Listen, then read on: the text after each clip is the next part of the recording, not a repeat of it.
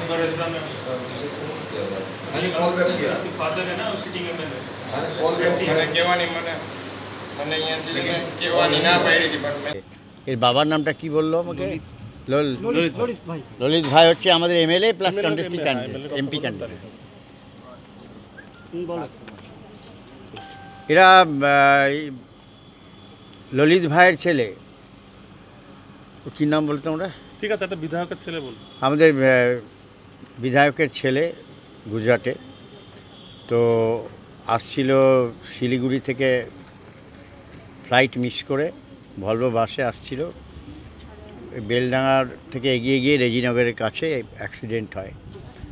তারপরে সকালে ওরা আমাদের সঙ্গে যোগাযোগ করে, ফোন করে। আমরা, আমাদের সমস্ত ইয়ে যারা কর্মী তারা এবং অধীর চৌধুরী নিজেও এসেছিলেন এখানে।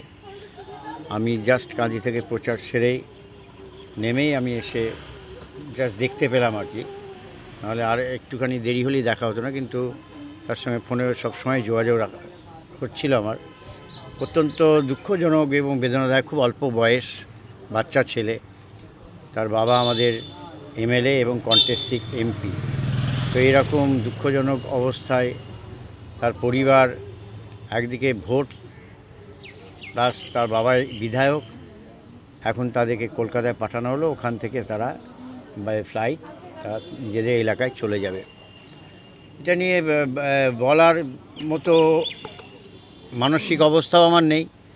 আর অভিব্যক্তি হচ্ছে যে, অকালে ঝরে গেল একটা প্রাণ, অল্প বয়স, ভীষণই অল্প বয়স। চৌত্রিশ, পঁয়ত্রিশ বছর বয়স, এবং তার একটা ভবিষ্যৎ ছিল, তার একটা আগামী দিনে একটা জায়গায় যেতে পারতো একটা রাজনৈতিক পরিবারে। এখানে কি উম, ময়নাতদন্ত করে পাঠিয়ে দিলেন? এখান থেকে ময়না তদন্ত করে পাঠিয়ে দেওয়া হলো। তারপরে যেহেতু অ্যাক্সিডেন্ট হয়েছে ময়না তদন্ত করতেই হবে।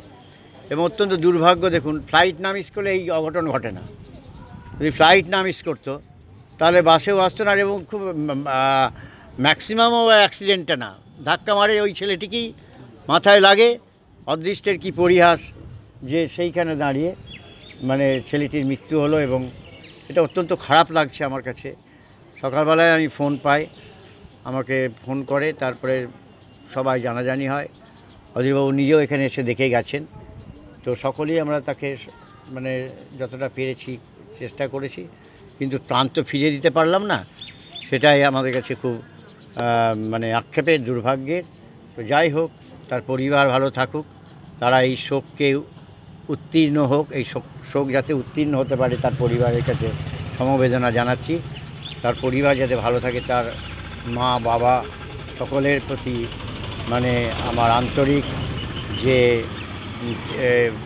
কি বলব, বলার ভাষা নেই যে আন্তরিকভাবে তার পরিবারের যাতে এই দুঃখ কাটিয়ে উঠতে পারে, তার জন্যে আগামী দিনে ঈশ্বরের কাছে প্রার্থনা করছি। তাদের পরিবারকে ভালো রাখুক এবং ওর আত্মার শান্তি কামনা করে আমি সকলকে ধন্যবাদ জানাই। তাতে আমাদের সকলকে আতঙ্কিত করছে। এবং এই মৃত্যুর ঘটনা প্রতিদিন বাড়ছে। দুটো তার কারণ। একটা হচ্ছে এনএইচের কাজ এখনও ঠিক মতন সমাপ্ত হয়নি। ফলে প্রকৃত অর্থে এনএইচটা যাচ্ছে কোন দিকে? এনএইচটা আসছে কোন দিকে যায় না। আমি নিজে কয়েক মাস আগে ভয়ঙ্কর অ্যাক্সিডেন্টের সম্মুখীন হয়েছিলাম এই গাড়ি নিয়ে কোনো রকমে বেঁচে গেছি। সেই বাঁচাটাও একটা আশ্চর্য কিন্তু বেঁচে গেছি। এই গাড়িটা আমার শেষ হয়ে গেছিল অর্ধেক উড়ে চলে গেছে।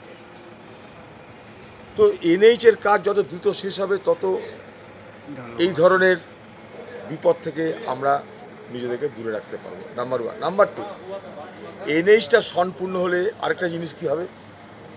আপনারা জানেন পার্লামেন্টে আমরা এই বিষয়ে আলোচনা করতে করতে একটা সিদ্ধান্ত এসেছি। প্রত্যেক পঞ্চাশ কিলোমিটারে একটা করে ট্রমা সেন্টার থাকবে আর ফ্লাইং অ্যাম্বুলেন্স থাকবে। এনএইচটা যদি সম্পূর্ণ তাহলে এনএইচের পাশে ট্রমা সেন্টার পেতে। এই যে অ্যাক্সিডেন্টগুলো হয়, তার একটা গোল্ডেন আওয়ার থাকে। সেই পর্যন্ত যদি হসপিটালে চিকিৎসা পাওয়া যায়, তাহলে তাকে বাঁচানো যায়, যেটাকে বলা হয় গোল্ডেন আওয়ার। এই গোল্ডেন আওয়ারটা পার হয়ে গিয়েছে বলে অ্যাক্সিডেন্ট মৃত্যু হয়েছে। কিন্তু যদি রাস্তার উপরে ট্রমা সেন্টার থাকতো, তাহলে গোল্ডেন আওয়ারের মধ্যেই তাদেরকে সেখানে চিকিৎসার ব্যবস্থা করে এখানকার এনএইচ থার্টি পরে না রাস্তার কাজ শেষ হয়েছে, না অ্যাক্সিডেন্ট হলে, বিপদ আপদ হলে সেখানটায় চিকিৎসার কোনো ব্যবস্থা আছে? সেখান থেকে তাদেরকে অটোতে করে বহরমপুর হাসপাতালে নিয়ে আসতে হয়েছে, কখনো হিচাইক করে নিয়ে আসতে হয়েছে। ফলে যে গোল্ডেন আওয়ার যে সময়ের মধ্যে অ্যাক্সিডেন্টের পর দেড় থেকে দু ঘণ্টা হচ্ছে সময় যার মধ্যে তুমি কোনো রকমে নিয়ে আসতে বাঁচানো সম্ভব। সেই গোল্ডেন আওয়ারটা পাইনি বলে মৃত্যুটা হয়েছে। আমি মনে করি এটা একটা ব্যর্থতা, সার্বিক ব্যর্থতা, রাস্তার সম্প্রসারণের ব্যর্থতা এবং রাস্তার সম্প্রসারণের পাশাপাশি ট্রমা সেন্টার পঁচিশ প্রত্যেক পঞ্চাশ কিলোমিটার অন্তর অন্তর একটা করে ট্রমা সেন্টার যেখানে অ্যাক্সিডেন্ট হলে তুরন্ত চিকিৎসার ব্যবস্থা করা যায়। সেই সুবিধা না পাওয়ার কারণে কিন্তু আজকের এই